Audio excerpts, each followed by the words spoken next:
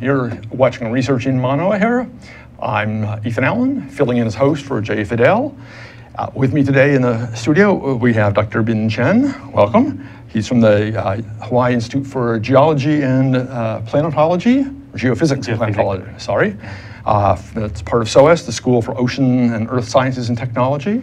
And we also have uh, Xiaojing Lai, uh, who's a third year PhD student in that same group, I think. Yeah. Excellent, excellent. Welcome. It's, it's great to have you guys here. Thank you. Thank you very much. I'm very glad to be here. And we're going to be talking about experimental simulations of planetary interiors. So this, this, this is a, a pretty uh, complex subject, it sounds like. Can you tell us what it's about in sort of big picture, simple terms? Yeah, we basically employ uh, high pressure techniques combined with uh, X-ray and uh, neutron and laser techniques to probe material properties under high pressure and temperature conditions found in the Earth's and planetary interior. So uh, what do we, uh, the, so the tools we are using is uh, like this. So we have diamond anvil cells Uh-huh. and then the multi-anvil cells for generating high pressure and also high temperatures. Okay, this is because materials deep in the earth are under a lot of very high pressure, very high temperature. Yeah. And you need to know what those look like, what their properties are in order to understand them and understand if you're seeing them in the earth. So you take small samples of them Yeah. in and this. squeeze it Huh? to quite high pressure. Yeah. Excellent. Do you want to? Okay. So this is an example of diamond anvil cell. Uh, so we have two diamonds, uh, but this is the cornea. It's not uh, diamond, but it's quite similar uh, one. So we have um, we polish the tip and mm, to make a small cullet, and uh, we can squeeze samples. Um, squeeze samples. Uh, uh, so we use two diamonds to squeeze samples like this. Excellent. You're using diamond because it's very, very hard and- Yeah, and it and- doesn't compress. Yeah, and it's transparent to the. Ah, so you can also Yeah. see your sample in it. Yeah. we can actually look uh, under the microscope Microscope. to see your sample, and then we can probe uh, the material properties of these samples Okay. under high pressure uh, by X-ray or laser. Okay. Yeah. you can see how it is deforming and changing structurally. Yeah. So we will show some interesting videos about uh, squeezing water into ice and the melt ice uh, under high temperature. So uh, this summer we have um, uh, two visiting students coming to our group, and then we have um, uh, done some cool experiment about uh, squeezing water into ice and Oh. also heat it, and then when and, and then the ice uh, so melt at high temperature, and when we cool it down, so the ice recrystallize. So this type of ice is not the ice that you can normally find in your freezer. So Uh-huh. This is a high pressure form of the ice. It has a different structure, and then it has uh, like uh, different property, of course. Really? It might exist in some other like icy satellite or icy moons Huh. in the solar system. Interesting. It puts you to mind of uh, Kurt Vonnegut's. Uh, Kurt Vonnegut, the author, wrote, wrote a book, uh, Ice, Nine. Yeah, yeah. oh, we hope Yeah. this isn't it. yeah, otherwise everything will freeze. keep, keep it away from water if it is, right? excellent, excellent. So, uh, one of the things I know you focus on is carbon, right? Yeah, yeah. Now, and again, this probably just reveals my, own ignorance about, about geology. I thought there was a lot of silica minerals and an iron core. I don't think of a lot of carbon in deep in the earth. Wh- wh- where is sort of where is the carbon and why is it there? What's it doing and why are you interested in it? Yeah, carbon. So carbon cycle is very uh, important, uh, like a subject to humankind, right? So we, uh, the reason why we are here because of carbon, like Right. on the Earth. So we, we are carbon forms, right? Yeah. Right? So we, uh, so the, uh, so that now there are a lot of controversies about uh, carbon reservoirs or the carbon cycles uh, in the Earth's interior. How much gets in the atmosphere, where it gets Yeah. stored on Earth, in Earth, right? So what are the largest reservoir in the Earth's interior? So uh, and then what I, uh, in my belief that uh, so from our data, I think the the, the Earth's core might be uh, the largest reservoir uh, of carbon in the deep Earth. Really? Yeah, and then uh, uh, we know diamond that we use uh, as our tools to, to generate the high temp high pressure is uh, a form of carbon as well. Right. So it come from the upper mantle or the even the lower mantle. Mhm. So, and then we can like uh, harvest this diamond, and then we can it can be used as a gem, or we can use it as our research tools. Oh, okay, right. Now we were actually uh, just had a show a little bit ago talking about uh, graphene, of course, another another form of carbon. And Yeah. Carbon is certainly amazing stuff. It has uh, multiples of properties. But yes, I can, I can see if if, uh, if the carbon is being stored deep in the earth, it's presumably more secure. It's not going to be popping out into our atmosphere and contributing to, to global uh, climate change so much. If there are ways, and I gather there are some very exciting new technologies that have some potential to be storing carbon in mineral deposits. Take carbon dioxide and, and pump it down there. Yeah. Yeah. Does your work inform that work then? Uh, so, so our work is uh, we are looking at even deeper. Right. So we are looking at uh, mostly uh, the lower mantle or the core, and that's so that's uh, some. Uh, so this is also the topic of uh, Xiaojin's uh, like a PhD work. Yeah. Okay. so So. you can probably talk about. Sure. Yeah, so my PhD work is about carbon in the Earth's core. Okay. So we have the Earth has a outer uh, liquid core, a liquid outer core and a solid inner core. Right. And so we think uh, because carbon has a very high solubility in iron, so we think when the Earth core forms, so carbon can dissolve into the iron and sink into the center of the core. Ah. Yeah. So. Because we always hear of it as being an iron core, but you're saying it's an iron carbon core, basically. Yeah, yeah. So iron, uh, iron is the major Mm-hmm. element in the core, but there's some light element. Oh, interesting. How, how much? I mean, is it one percent carbon? Is it ten percent carbon? Do you, do you have a sense of that? Uh, that's uh, uh, that's our research. So we need to like uh, compare the density of our data to the Earth model to see what's. Uh, Ah, I see. So if you take Yeah. Little bits of iron, compress it there, look at look at it, and look at the signals you get out of it, and then look at the outer core and the inner core, you can maybe make some guesses as to how much. yeah, yeah. Okay. So if we, yeah, I think it's important to know that the composition of the outer core, like in terms, like how much carbon uh, exists in the core, because uh, we know that uh, from the surface to the core, uh, or the to, to the center of the Earth, so we, you have uh, a lot of like uh, carbon reservoirs, right? Right. Uh, at, uh, in the atmosphere, so our like uh, air, it has uh, CO2, Right. carbon dioxide, and then you have carbonate in the crust or in the mantle, and then you have diamond or graphite in the mantle as well. Uh, it's more, uh, and then, so if we know the carbon content in the, or the carbon, the, uh, the carbon content of the largest reservoir uh, of iron in the in our planet, and we can understand how they interact between the different layers of the uh, yeah, of the Earth, the, how they exchange carbon. Excellent. Like, Excellent. Perhaps we should. I, I think we have a, a few slides. Perhaps should we should we take a quick look at those? There we go. Okay. Maybe you'll tell tell us what's going on here. Okay, so this is about uh, uh, um, experimental simulation of planetary interior. Um, so, Bin, do you want to talk? Y- Yeah, I think uh, so. Uh, if we look at the this uh, uh, uh, the structure, the internal structure of the Earth and other uh, planet or satellite, so we so we can see that they have very similar structure. It's all like an onion-like. Multiple layers, right?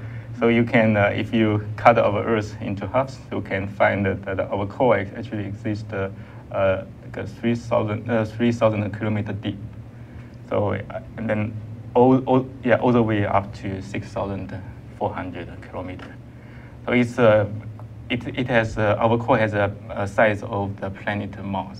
Oh, okay. you can here is uh, uh, so to the right you can see the Mars is about the size of the Right. of the core. Okay. So uh, there's some like uh, so, so the nature of, and the dynamic of the core is quite important for humankind or for life in the Earth, as we know that the uh, liquid motion uh, in the outer core drives the geodynamo and then finally generate the, the magnetic field that pr- protect us from the radiation from the space. Exactly. Uh, that's pos- possibly part of the reason there's a high form life uh, on Earth. Right, because we are Yeah. protected. Right. Yeah. And And, then then- if we look at also the uh, this uh, uh, satellite, uh, so Jupiter uh, is the largest uh, planet in the solar system, and it has uh, more than 60 moons. Right. And among them, the largest uh, among them are Io, Europa, uh, Ganymede, and Callisto. Uh, so there's some interesting things about uh, this uh, satellite. Uh, uh, p- uh, scientists have, found that, uh, particularly for Ganymede and Callisto, there are a large amount of uh, water or water ice exist in its interior. Mhm. So in their interiors. The next slide, Ah. please. Yeah, so So Xiaojing the talk. Yeah. uh, so this is the picture of uh, Ganymede. Uh, so you can see the onion-like uh, structure. So it has a hexagonal ice on the surface. Uh, it means uh, the hexagonal ice is the ice you can find in the freezer Okay. or the snow. Uh, and uh, uh, people believe there's a sub uh, sub uh, sub ocean subsurface Oh, ocean? yes, subsurface oceans. Um, and uh, if you go deeper, you can find the different kinds of ice. It's tetragonal ice, ice six, and then it has uh, then if you go deep, even deeper, it has a rocky mantle and uh, iron uh, iron core. Hmm. Yeah. So um, so uh, you want to know like uh, what kind of ice and Right. um, If ice six sinks and, and sits at the bottom of the ocean, it's very, very different than our ice, which floats, right? Uh, ice six is uh, a, a denser Denser. form Right. of ice. Right. And then, uh, And so we in our lab we can actually uh, squeeze water into ice. Ah, Yeah. into ice, you can actually make ice six. Yeah. Yeah, And, and yeah. you can drop it in water and it sinks. very briefly before it melts, I assume. So this is another uh, moon of Jupiter, uh, Callisto. So it also has a hexagonal ice on the surface, and uh, people also believe there's uh, subsurface oceans. And uh, uh, deeper because the pressure and temperature conditions are different. So they have uh, monoclinic ice, ice five, uh, and uh, um, rock, rock and tetragonal ice uh, in the s- uh, in the center. So this one uh, is more like a mixture in the interior. So it's Because not. Yeah, because Callisto, uh, people believe that the Callisto is only partly differentiated. Ah. Not like a not- Ganymede. Ganymede is uh, fully differentiated. Yeah. Okay, okay. And, and just because of the different way it formed and all, it's, it's actually structured now differently. Yeah, and Excellent. also it's uh, this uh, Callisto is farther away from Jupiter. Ah, so it's much less gravitational impact and all. Okay, yeah, okay. uh, I gather they're actually sending now a probe into Jupiter itself to learn more about its yeah, yeah. central. Juno. Yeah, Yeah, right. Juno, yeah. That's that's going to be intriguing. So, uh, and I think we also now have a video, don't we? Yeah, yeah, Okay. we have a two-minute video. Okay, that'd be great. Okay, so in 2015, so it's open house, our mineral physics group uh, uh, show how to squeeze water into ice. So this is a poster about uh, our la- uh, high pressure press. Uh, so left hand is the uh, multi-anvil press, and on the table we can see all kinds of um, diamond anvil cell.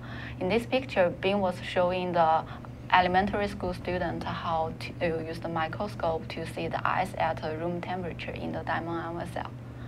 So this is a video. When we increase the uh, pressure, we can see the uh, ice grows. So um, it's under a microscope. So uh, in this summer, we have two visiting students from University of Science and Technology of China, and uh, uh, one of them, the project is about. Uh, uh, like uh, modify the heaters in the diamond anvil cell and do the ice melting test. So you, you can see here the uh, heater is about 600 degrees C. Um, so when we can increase the temperature at, in the diamond anvil cell, so when we increase the temperature, you can see It's the uh, it, it, the ice melted. Hmm. Uh, so you can see the cracks and Mhm. the ice Yeah. melted uh, Wow. along the. So when we decrease the temperature, you can see the water recrystallize and it become uh, larger and larger, and uh, eventually it will form a one piece. of uh, ice. So this ice is um, different from the ice we can find in the refrigerator. Okay, It's, excellent. the Ice 7. Yeah. And on, on that note, we're going to take a quick break here. but We'll, be, we'll be right back. Uh, I'm your host, Ethan Allen, here on Research on Manoa, uh, filling in for Jay Fidel. Uh, Dr. Bin Chen and Xiaojing Wei are with me today. We're talking about ice. All right. Hey, how you doing? Uh, welcome to Okay, Hibachi go Talk. on. My name's Andrew Lanning. I'm your co-host, and we have a So nice program here every Friday at one o'clock uh, on Think Tech Fahrenheit? Studios, where we The talk about technology and we have a little bit of fun with it. C. So join us if you can. Thanks. Aloha. Aloha, I'm Kirsten Baumgart Turner, host of Sustainable Hawaii. Every Tuesday at noon, we talk about issues important to Hawaii's sustainability, the issues of conservation, renewable energy, uh, land management, food and energy security, and other issues that are extremely important as the World Conservation Congress approaches in the first week of September, and next year's World Youth Congress that's taking place here that's focusing on sustainability as well. Please tune in, join us as we highlight all the good things that are happening to achieve sustainability in Hawaii. Mahalo.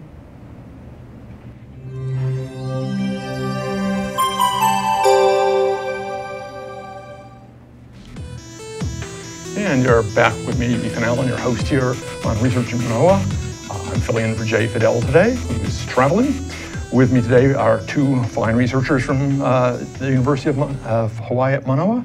Uh, Xiaojing Lai from the, is a third year PhD student, and Dr. Bin Chen is in the Hawaii Institute of Geophysics and Planetology.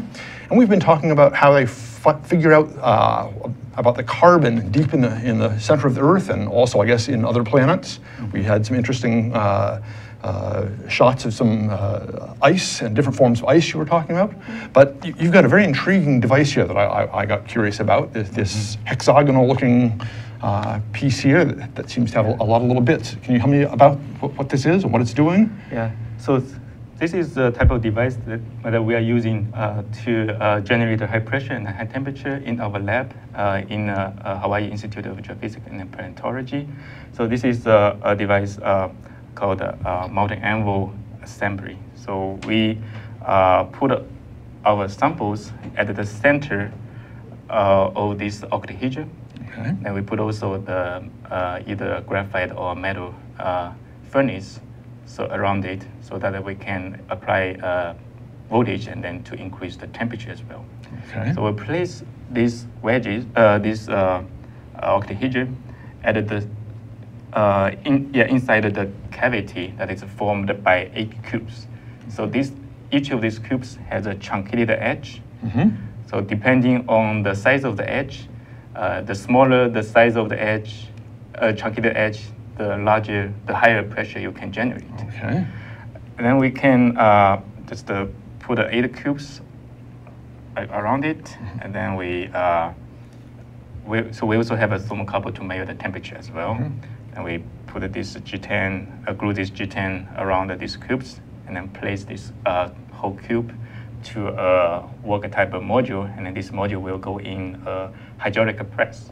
Okay. So we have a 2,000 ton press uh, in our lab. Wow. And we can increase the pressure and then apply voltage uh, to the sun, uh, to, to the furnace and then increase the temperature as well. Okay. And then, uh, uh, so I will have uh, some a few slides just uh, showing uh, what we- do. Uh, I, I think we, we will have a movie first, please. Uh, show what we do in our lab to Okay. prepare uh, this uh, multi-anvil press, Okay. multi-anvil assembly. All right. So, so what, what, Oh, oh, what are we seeing here? I think this has already been. so this is a diamond anvil cell. Okay. So this is used for compressing water into ice and Yeah. melt the melt the. And so this is basically just working in two dimensions or one, Yeah, yeah, right, just one, one way of Yeah. pressure. And, And then here this you're is the, yeah, cubes, the, right? uh, so my student is preparing for this multi-anvil press, Right. uh, multi-anvil assembly. So we can see the, uh, each uh, cube has a truncated edge. Edge. And we have our samples with a thermocouple and a furnace Mhm. uh, inside this octahedron. And then we pa- place this octahedron uh, in the cavity that is formed by these eight truncated cubes. Then we can uh, just uh, uh, place eight cubes around the, the octahedron. Yeah. Uh, so all these, uh, and then we can glue this G10 like I, what I did uh, Yeah. to uh, Right. to the cube, and then place this uh, multi-anvil assembly in the uh, wedges, uh, uh, and then we can place this whole Walker type of module in this big press. Uh-huh, So this is the a very big press we have. Uh, it's a 2,000 ton press, and we can use uh, our, the computer to control pressure and the temperature Okay. that, that we want to reach. And then at the, at the same time, you can image the sample in the middle, right? uh, image the sample, uh, yeah, there's a certain type of device uh, in Synchrotron Labs, so we can do some imaging Okay. of the sample. Uh, so this, uh, sometimes we travel to uh, Chi- Chicago to do an experiment, Okay. and this is uh, experiment setup uh, called the Paris and Edinburgh press that we use uh, uh, for our viscosity measurement. Okay. So you can see a, a, flo- a, a sphere floating in Mhm. the in the liquid. Mhm. So this is a, a yeah a sapphire sphere Okay. that we place uh, inside uh, this uh, Paris Annenberg uh, cell sample uh, to put this sphere in in this uh, iron nickel carbon uh, uh, mixture, and then we compress this mixture using this uh, Paris-Edinburgh press, and we heat it up until the sample is molten. And as soon as the sample is molten, then we can see the uh, probe sphere to float uh, to the top. It gives you a signal that it's molten, and presumably the rate at which it floats up tells you some things about, the about the viscosity, yeah. Right. So if you uh, uh, cook a, uh, uh, some soups, right, at first uh, it might, might be less Very thick, viscous, right, right. and you, it, it's easier to stir, and then later it will become viscous, and it's uh, more difficult Mhm. to stir. So that's the basic principle. If you have a viscous uh, fluid, then this uh, probe sphere will flow slowly. Right. If you have uh, less viscous uh, fluid, then it will flow very fast. Okay. So you need the, uh, in our case, this iron nickel carbon liquid has a very low viscosity, surprisingly. Huh. Then, uh, Very low viscosity. yeah, it's only ti five times the viscosity of liquid water. Oh, no, Yeah. that's, that's surprising. You'd sort of think Yeah. almost intuitively that liquid, liquid iron would be very, very dense and very viscous. Yeah. Um, but So that's why we needed this high-speed uh, camera, so it can like a high-speed camera, like uh, to uh, 1,000 frame per second, the camera to catch the movement of the probe sphere. excellent, excellent. And I guess we're back to seeing uh, a couple of the Galilean satellites again with Uh, some different properties. Yeah. So this is the yeah the about the ice. Uh, so as, as you can see that the Ganymede and the Callisto has a large amount of water ice uh, in its interior, close to Mhm. 50 percent. Okay. Yeah, Io and Europa they are uh, closer to Jupiter, so they Mhm. have uh, a little bit less uh, ice. Although, doesn't Europa have a lot of water on the surface apparently? Is that, Yeah, yeah. that- So that's okay. But, that's but just, in the interior, in, yeah, Right. it might not have as much, as much ice than uh, Ganymede or Callisto. fascinating. Next- So it's a, it's a sort of natural experiment in, in different forms of water and different Yeah, forms that's of why we, there, right. we call it the experimental simulation of planetary interior. So we want to simulate the conditions uh, found in the see if you uh, planetary interior, and then we study the material properties. Mhm. So we can provide a, a bridge uh, between uh, observ- uh, observ- observation and the model. Right. So mod- the, the people who want who do modeling want you need to use our data in order to have a more like a realistic model for the planet. Exactly. So this Yeah. is this is actually sort of oddly parallel then to this new Hawaii EPSCoR project 'Ike Wai, Mm-hmm. where they both are measuring the the characteristics and property of the groundwater, but also modeling the reservoirs of it. So, Mhm. and, and the, the measurements inform the model, and the model sort of informs what they should be measuring, and you've, Mhm. you're sort of doing the same kind of thing, except you're both looking very far out into the into the cosmos and also Oh, very very deep into the yeah. planet. That's right.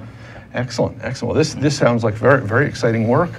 Um, let me let me ask you a little bit about about the the students in your lab. You you get undergraduates, mostly graduate students. Uh, do you, Yeah. Yeah.